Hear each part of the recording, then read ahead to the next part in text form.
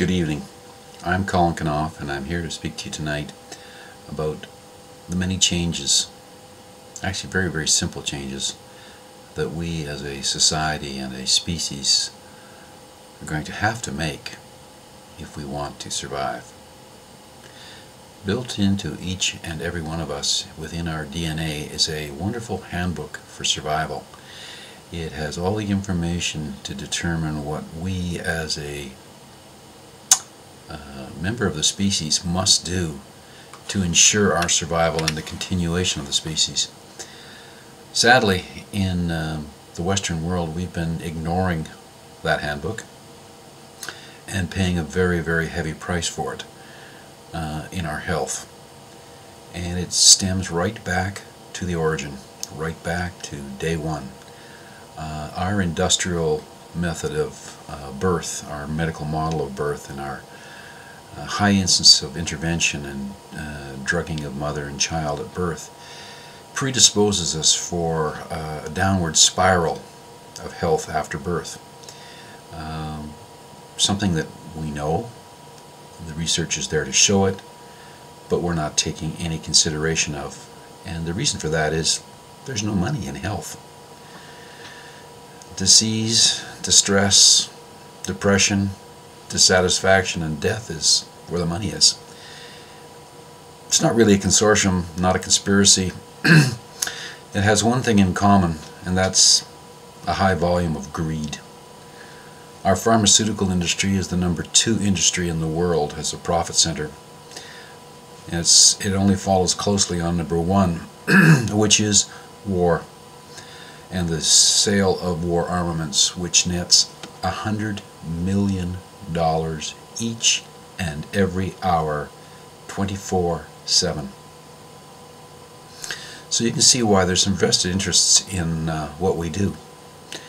Although it's certainly not what we need to do and it's certainly not going to keep the long term for us. It will make a few people very rich now and a lot of people dead. And that's what we want to talk about we need to birth naturally. Our birthright is exactly that. It's a right to a birth. Dicing and slicing and, and drugging is not birthing. It's delivery. A little more than, a little different than delivering pizza.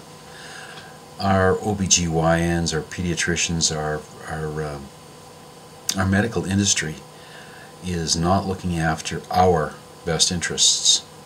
And we are going to have to do that ourselves. We're going to have to make sure that our governments are not lobbied by the pharmaceutical industry and that we lobby them for health. Because health has no proponents, there are no people paying the lobbyists. There are no lobbyists.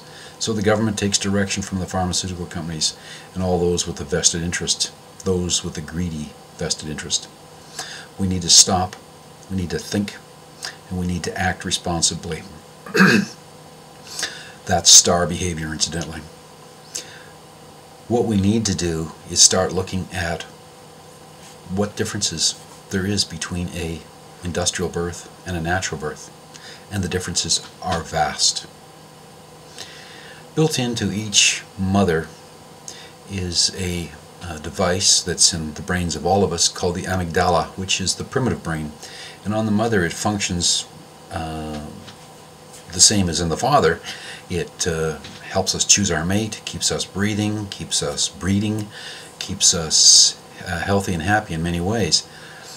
And when it comes to birth, the amygdala determines the time, the place, and the energy involved for birth to ensure a healthy outcome. However, when we walk into a hospital, uh, the foreign smells, the bright lights, the equipment, the ambivalence from the staff involved in the hospital, and uh, some of the hostility that abounds triggers the amygdala to say, this is not a safe place for birth. It harkens way back millions and millions of years ago when there were no hospitals and mother's amygdala would say, hmm, I can smell the lions, I can hear the lions, we should not be giving birth now. It's time to get back to the cave.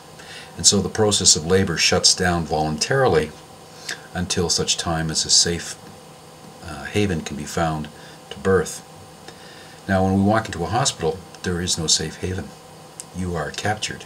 You have lost your control. You are, in the terms of the hospital community, uh, you're in a position to be deemed as a failure to progress, which means your labor does not progress because your amygdala has shut it down. But we have a vested interest in you coming in and getting out. We want to make our money and when we want to say goodbye. So the sooner we have you birthing your child, the better it is for the medical community.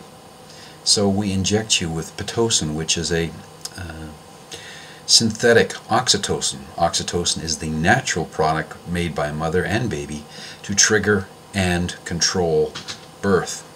It uh, it controls the, uh, the the large muscles to push down on the uterus and force the baby out. It uh, does a number of things in a variety of different uh, times in our lives, but at the birth, it's a significant part of the birth. So we have two things happening now. We have the amygdala shutting down the system, telling uterus not to push, and the pitocin is telling the muscles to squeeze. And that, of course, creates horrendous pain for the mother, and uh, all her fears then become um, realized because our media and our people in Hollywood do such a wonderful uh, job of showing trauma at birth and scaring the crap out of poor mothers, when in actual fact, many parts of the world, I mean, it would be a lie to say there's no pain. I mean, that would be impossible.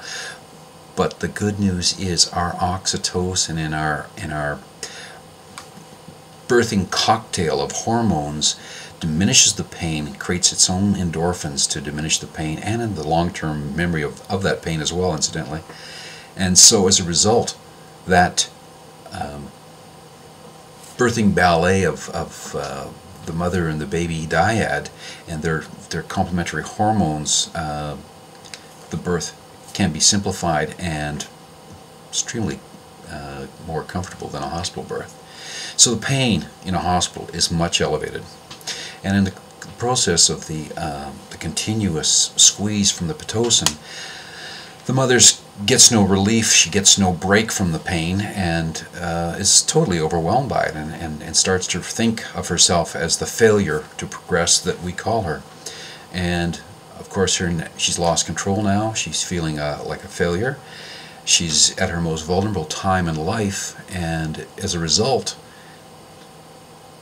she's a perfect candidate for postpartum depression. But now we're getting ahead of ourselves. Let's go back to the birth. So the baby now is